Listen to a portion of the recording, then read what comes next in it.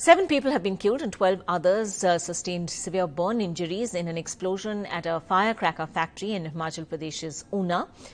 Most of uh, the dead are believed to be uh, migrant laborers. All seven were women.